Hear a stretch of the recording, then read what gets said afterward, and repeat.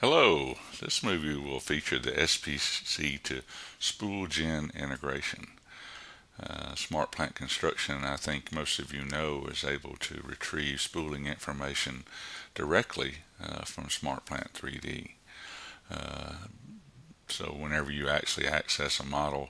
uh, from SmartPlant 3D, if the spooling has been performed in uh, and Smart 3D, then when you retrieve that model into Smart Plant Construction, you will retrieve those spool definitions also. So we can take a quick look uh, of how that actually shows up in Smart Plant Construction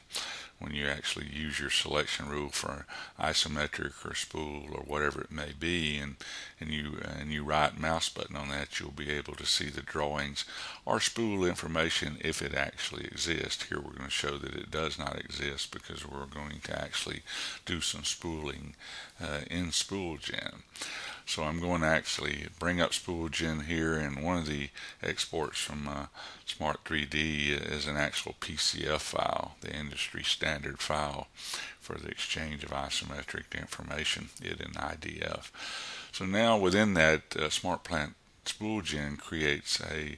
a, uh, pod file, a piping object data file,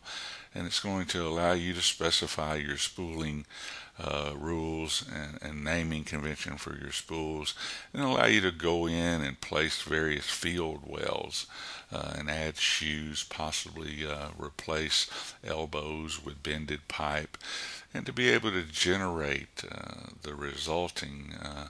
uh, spool cut sheets and uh, once you've added the site welds and uh, and other things such as supports and uh, shoes and that type thing. And to be able to generate that and then the integration platform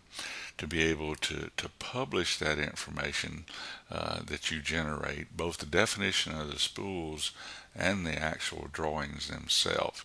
so now you can see that I've generated uh, the, the, various spool cut sheets for this this particular isometric and uh, and I'm going to choose to publish those final erection drawings with revision control uh, into SmartPlant Foundation, the underlying integration platform uh, under SmartPlant Construction. So uh, I will choose to do that. I will uh, uh, pick a revisioning scheme. This is very important so that you're able to know uh, subsequently after this uh, when you've got different revisions so that you always know that you've got the latest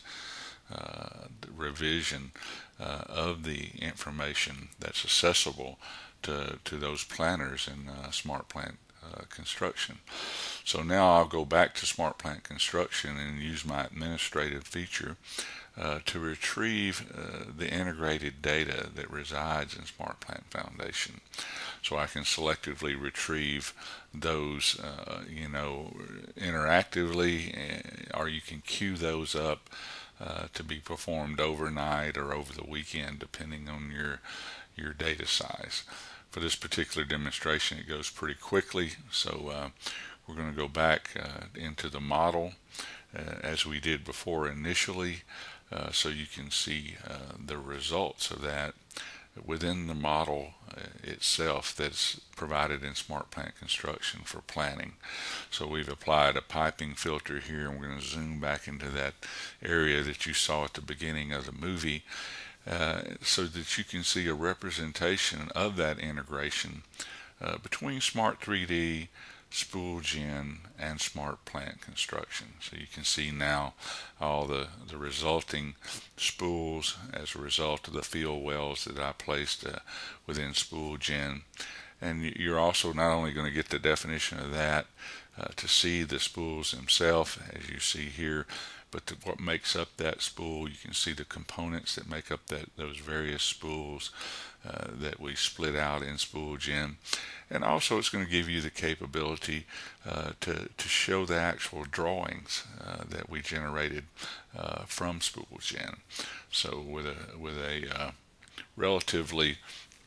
short concise workflow there you can have uh, defined initially spools in Smart 3D and you can supplement that uh, with SpoolGen and, and have those drawings uh, and relationships back to the model uh, published into Foundation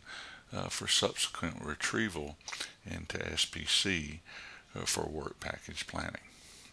Thank you.